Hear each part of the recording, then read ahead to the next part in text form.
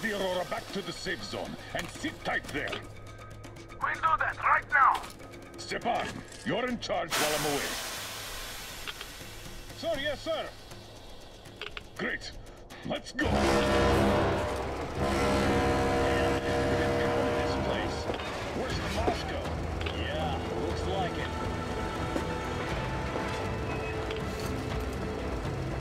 See that crater? Wonder what the yield was on that one. Looks like a hundred to me. Lucky. Your guys used to have three and five hundred ones too. Well, even a hundred seems to have done okay.